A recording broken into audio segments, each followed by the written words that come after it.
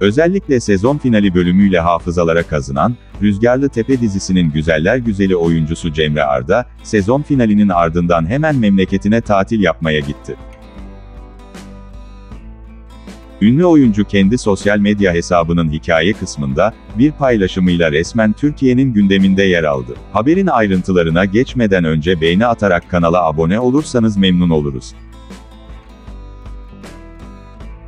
İlk oyunculuk deneyimini Rüzgarlı Tepe dizisinde başrol oyuncusu olarak, Zeynep karakterine hayat veren Cemre Arda, özellikle rol arkadaşı Gökberk Yıldırım ile uyumu sayesinde, Türkiye'nin sevilen oyuncuları arasında gösterilmektedir. Cemre Arda'nın kendine has oyunculuğu ve zor görevlerin üstesinden gelmesi onu zirveye taşıyan unsurlardır.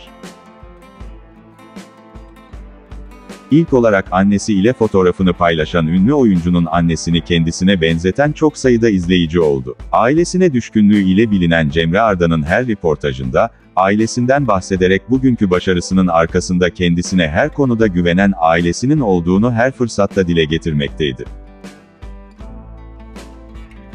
Güzel oyuncunun paylaşımında dikkat çeken detay ise bir buket çiçek olduğu herhalde tüm sevenlerini merakta bıraktı. Kafalardaki soru ise acaba bu çiçekleri Cemre'ye kim gönderdi?